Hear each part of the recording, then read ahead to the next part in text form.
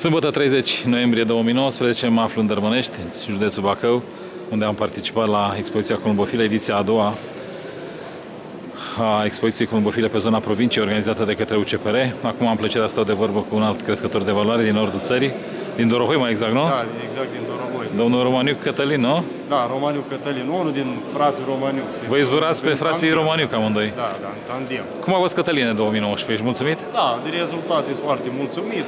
Deci, pe podiumul zona Moldovei, deci am patru poroasa, deci trei por- Câți doi ai în expoziția de porumbei. astăzi? Patru. Patru bucăței? porumbei.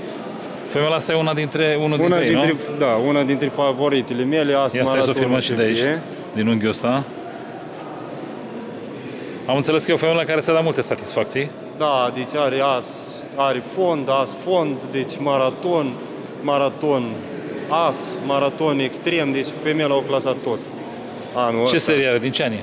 E femeia de, de 2017, deci, Ah, deci 2 ani, nu e, nu e așa bătrână, e ok. da. Deci am un, un Yarling la locul 6 la maraton. Tot aici, pe zonă? Da, e de aici partea, la maraton tineret.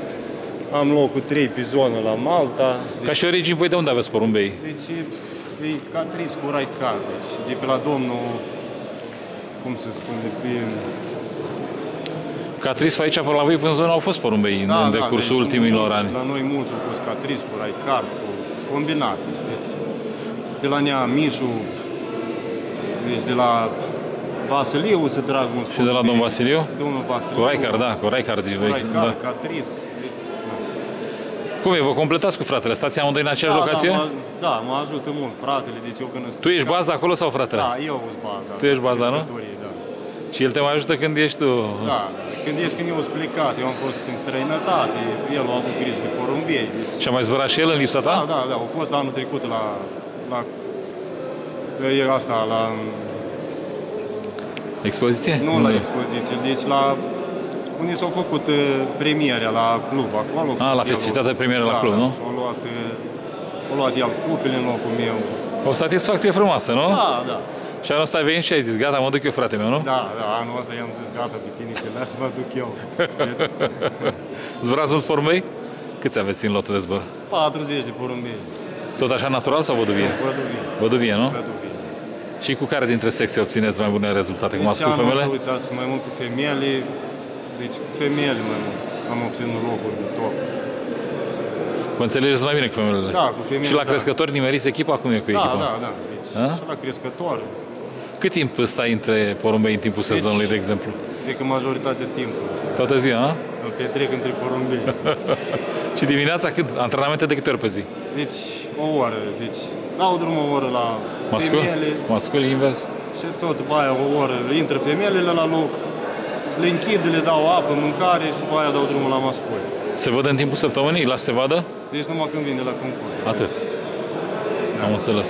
Motivații la porumbei, înainte de concurs? Le Deci- faci același sistem de motivare sau le mai Îi schimbi? duc la antrenamente la 30-40 km, dau drumul la femeile.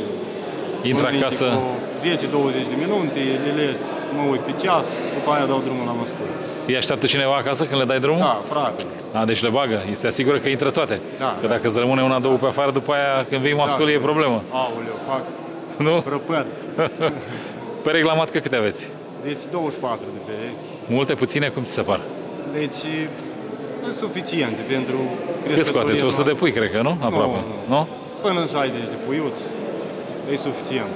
Seria 1 și a doua, nu? Atât. Îi zburați toamna pui Anul, anii din urmă i-am mai zburat, anul ăsta nu i-am zburat de puiuți.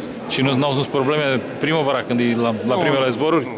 Deci pe locul aia șase tineret maturi, dacă vă arătam primăvara asta erau tardivă, deci și-o clasat două maratoane. Asta înseamnă sânge de valoare. Da, exact. Deci Așa. eu nu mă uit după asta, că nu zbor toamna și primăvara n-a să facă treabă. Pentru voi viteza de mifondul sunt antrenamente, nu? Da, noi, Deci- deci, noi maratoane. Noi, Maratoane. La aia acolo, la noi, la Moldova, la Botoșan, Dorohoi, numai, numai maratoane, numai...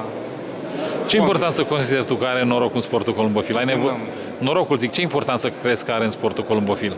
Ai Da. nevoie și de noroc ca să obții Exact, un titlu și bun? noroc, dacă nu aveți noroc, na, și norocul, și pasiune. și- Voi moșteniți pasiunea asta de la cineva din familie? Da, eu moștenim, noi o moștenim, dar de la un bunic. Deci, A avut porumbei dânsul? am avut și el. Și zbura porumbei. cu ei? Nu am zbura, el îi ținea mai mult de frumusețe. Ah. Da, așa este. Da. Pentru 2020 ce planuri ți-ai făcut? Ce v-ați dori să obțineți? Să fim tot mai sus, pe podium. Și la provincial și la național, dacă se poate, nu? exact. Bravo. Unde se, se Ce poate- talii preferate ai la porumbei? Cum îți plac să arate Is- porumbei? Talea mijlocii. Nici mari, nici mici. Grei, ușori? Să fie ușor, să aibă o masă musculară pe ei, cât bună.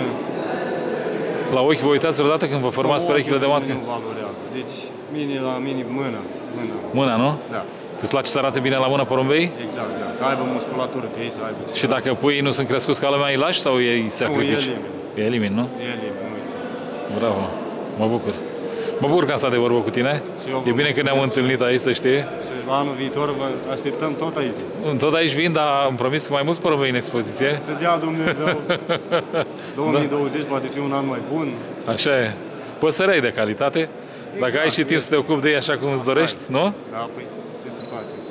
Cătălin, încă o dată, sincere felicitări pentru Mulțumesc, rezultate și munca depusă și multă baftă în continuare. vă mulțumesc frumos. Toate cele bune îți doresc. Mulțumim. Sănătate, numai bine. Sănătate, numai